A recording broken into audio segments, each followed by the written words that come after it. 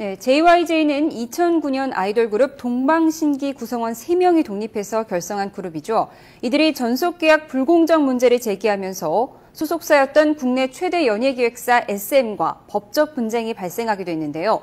공정거래위원회가 법적 분쟁 와중에 이들의 활동을 방해했다며 SM엔터테인먼트와 한국대중문화예술산업총연합회에 시정명령을 내렸습니다. 취재기자 연결해 알아보겠습니다. 이승은 기자. 이승은입니다.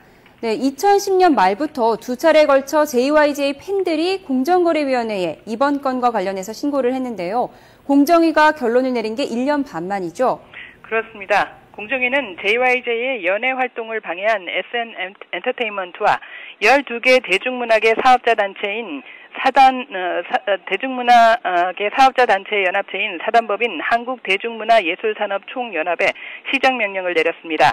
공정위는 전속계약 불공정 문제를 제기하며 독립하는 과정에 SM과 법적 분쟁이 생긴 JYJ가 2010년 10월 1집 앨범을 내고 가수 활동을 재개하려 하자 SM과 대중문화예술산업총연합, 문산연이 함께 이들의 활동을 방해했다고 밝혔습니다.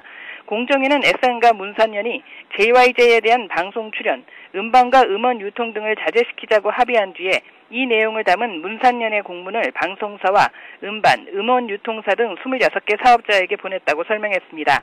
이에 따라 JYJ는 국내에서 가수로서의 활동이 제약될 수밖에 없었다고 공정위는 밝혔습니다. 공정위는 이에 따라 SN과 문산연에 대해 JYJ에 대한 사업활동 방해 행위를 금지하는 시정명령을 내렸습니다.